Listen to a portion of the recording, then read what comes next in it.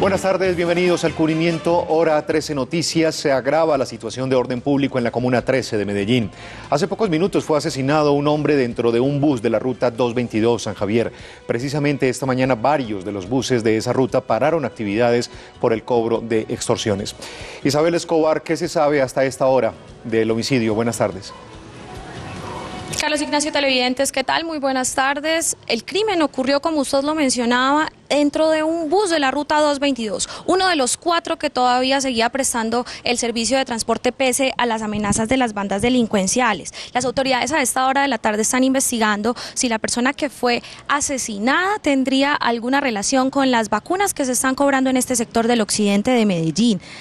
Y es que precisamente esta mañana la ruta 22 de San Javier, que cubre la zona desde el barrio El Socorro hacia la avenida Oriental, amaneció sin prestar el servicio. Según lo que nos dijeron algunos conductores, se trataría de la banda La Agonía la que les está cobrando hasta 20 mil pesos diarios para permitirles la prestación del servicio de transporte. Dicen además que en la última semana se han registrado tres robos a los conductores que se negaron a pagar la vacuna.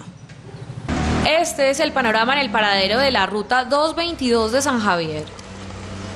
Por una nueva vacuna parquearon los vehículos. Sale una, unos muchachos con unos pelados con el ellos a decir que hay nombre de la agonía que deben de pagar 20 mil pesos por vehículo diario. Que están cobrando ahí en la iglesia sector. Algunos se rehusaron a pagar.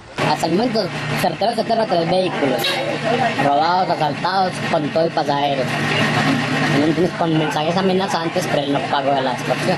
Temen que aumenten los ataques. El tema de vehículos, me un carro quemado con el no pago la hace como un par de meses atrás. Y yo creo que son antecedentes de quemar vehículos y, y, y los conductores que han matado tanto a otros que han matado anteriormente, como años atrás que han matado a otros. Advierten que el cese de actividades es por tiempo indefinido.